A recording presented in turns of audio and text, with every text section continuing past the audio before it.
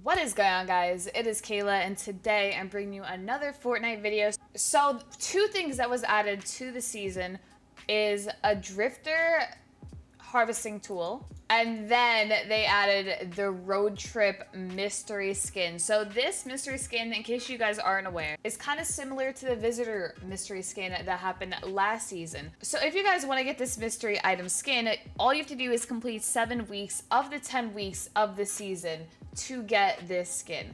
So no one can get this skin until seven weeks into the season, assuming you completed every single week challenge. So that's how to get the mystery skin. So, I mean, I don't have any advice or anything like this for the mystery skin. It's just basically, in order to get this skin, you gotta do every single challenge for seven weeks in a row. I mean, that's the fastest way to get it. Do every single challenge for seven weeks straight and you can get this mystery item. Hopefully this mystery item looks better than the visitor one because because honestly I wasn't too fond of the visitor skin that we currently have from season 4. But the drift challenge, you know, the quickest way to get this is playing a lots and lots of games. So there's a lot of variables to get XP. I mean, you win games, you get kills, you get a lot of XP for the matches. So in order to get this pickaxe right here, which looks absolutely incredible. Trust me guys, you want this pickaxe. It looks beautiful. Like look at it, it glows. It has like lightning bolts and everything around it. It is insane.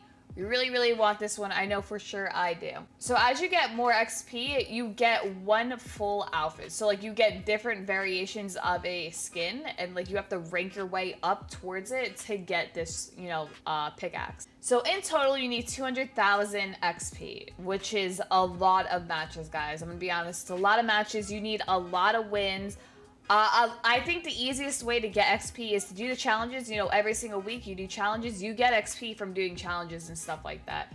You win games, you get XP. You shoot down, you know, walls of people, you get XP. You get assists, you get XP.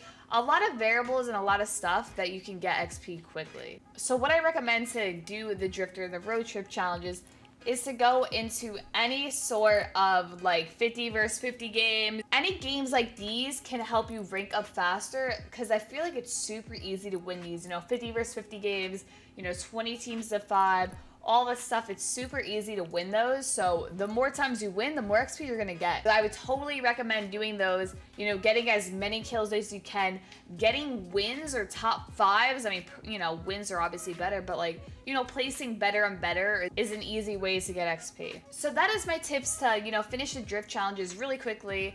Uh, I mean, the road to trip challenges, this is just kind of hard. You just gotta wait seven weeks, and after seven weeks, you can get this skin. I'm actually so happy of this season. I really like this outfit as a whole. It looks super cool. I mean, like, look at this. Dude, this pickaxe looks amazing. Yeah, guys, so if you find this video useful and helpful, make sure you drop a like on this one. Uh, if you are new and you haven't subscribed, I would totally appreciate that as well. Thank you guys for watching. I'm out.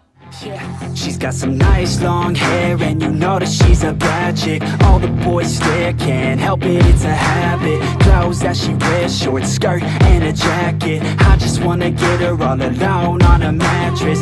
I just wanna have it, I just gotta have it. Rumors all